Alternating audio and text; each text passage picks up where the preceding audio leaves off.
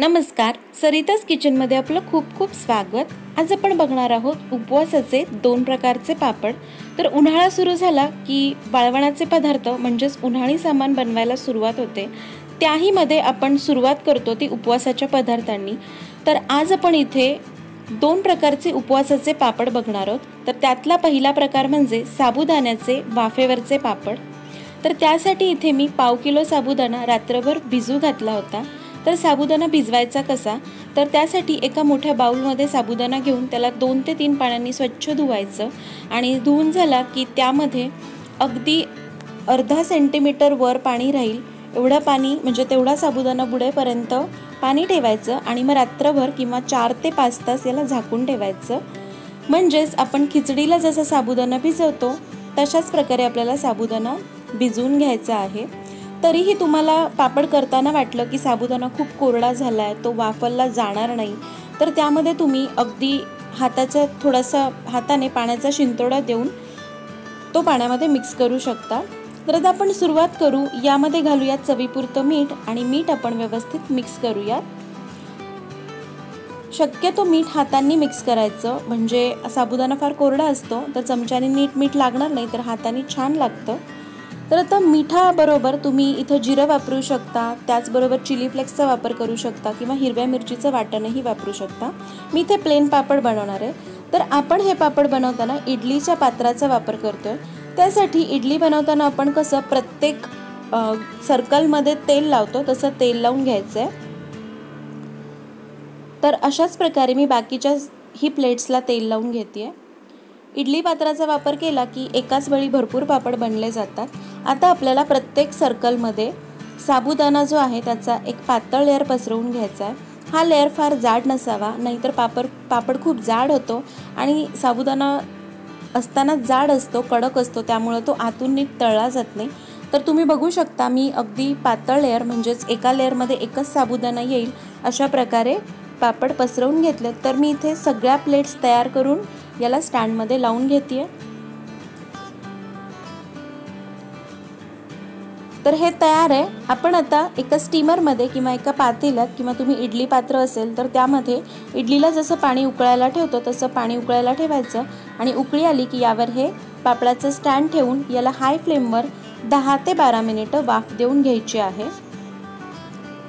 दहा ते बारा मिनिटं झालेली आहेत याला उघडून बघूया. तुम्ही आता बघू शकता साबुदाण्याचा रंग पांढऱ्यावरून ट्रान्सपरंट झालेला आहे. तेव्हा समजायचं की हा छान वाफरला गेला तर आता मी याला अलगद बाहेर काढून घेते.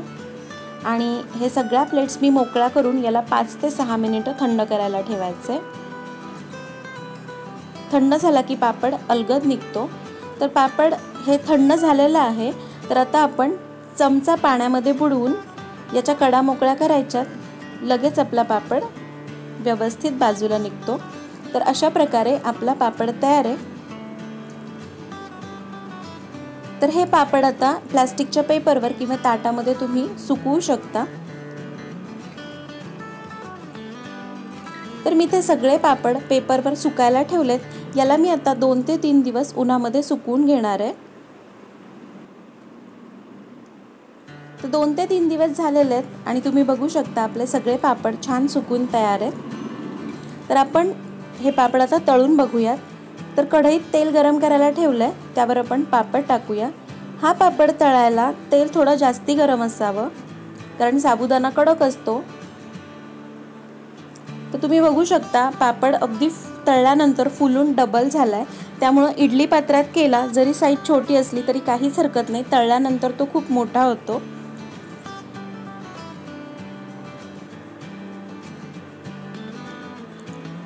तर तयार आहेत साबुदाण्याचे वाफेवरचे पापड. तेही इडली पात्रात केलेत त्यामुळं अगदी झटपट आणि भरपूर पापड एकावेळी होतात. तर आता आपण उपवासाचा दुसरा पापडाचा प्रकार बघायचा आहे. साबुदाणा आणि बटाट्याचे पापड.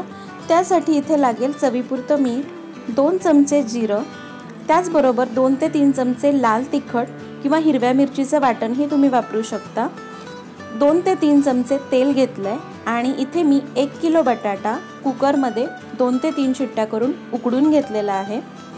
एक किलो बटाट्यासाठी आपल्याला लागणार आहे पाव किलो साबुदाणा. हेच प्रमाण आहे एक किलो बटाटा पाव किलो साबुदाणा. तर साबुदाणा आपण खिचडीला भिजवतो तसाच भिजवायचा आहे. म्हणजे दोन ते तीन पाण्याने स्वच्छ धुवायचा आणि त्यावर अगदी अर्धा सेंटीमीटर पाणी राहील अशा प्रकारे त्याला रात्रभर भिजून ठेवायचं आहे. तर पहिल्यांदा आपण बटाटे खिसणीने खिसून घ्यायचे तर मोठ्या होलची खिसणी असले तरीही चालेल. फक्त त्यामध्ये काही जाड तुकडे राहू नये म्हणून आपण खिसून घ्यायचं. आहे तर बटाटा आपला मी इथे पूर्णपणे खिसून घेतलेला आहे. तर आता जो साबुदाणा आपण भिजवत ठेवला आहे त्याला मिक्सरमधनं आपण हलकंसं फिरवून घ्यायचं. आहे म्हणजे आपण उलट्या बटणावर कसं फिरवतो तसं फिरवून घ्यायचं. आहे फार बारीक नाही वाटायचं. तर साबुदाणाही मी सगळा मिक्सरमधनं अशा प्रकारे वाटून घेणार आहे. तर आता हा जो वाटलेला साबुदाणा आहे तो आपण या किसलेल्या बटाट्यामध्ये काढून घेऊया.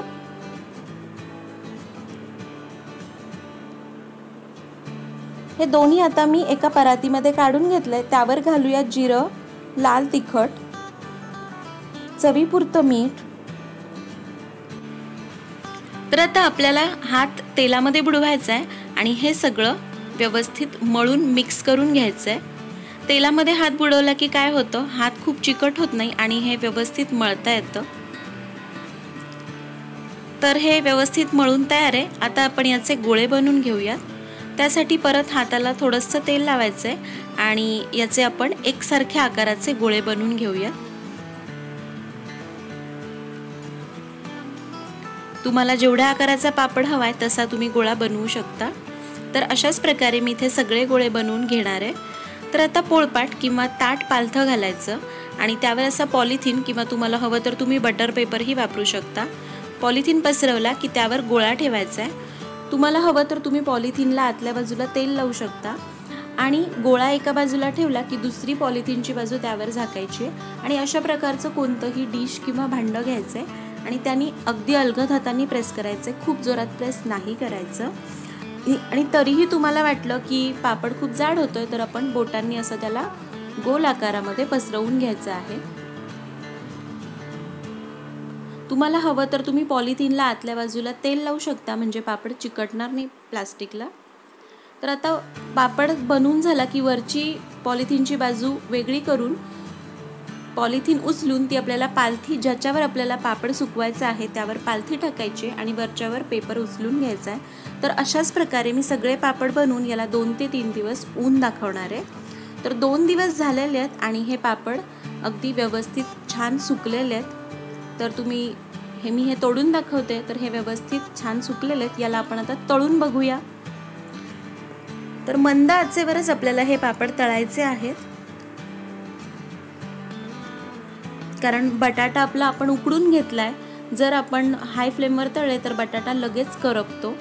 आणि हा पापड खूप फुलत नाही कारण यामध्ये आपण उकडलेला बटाटा घातलाय त्यामुळे. तर अशाच प्रकारे मी थोडे पापड तुम्हाला तळून दाखवते. तर तयार आहेत आपले साबुदाणा आणि बटाट्याचे तिखट पापड. हे खूप खमंग लागतात. खाण्यावर कंट्रोल होत नाही एवढे टेस्टी लागतात. तर तुम्ही पण ह्या दोन्ही रेसिपीज नक्की ट्राय करा. कशा झाला कमेंट बॉक्समध्ये नक्की कळवा. आणि जर तुम्हाला व्हिडिओ आवडला तर लाईक करा शेअर करा आणि अशा छान छान रेसिपीजसाठी चॅनलला सबस्क्राईब करायला विसरू नका.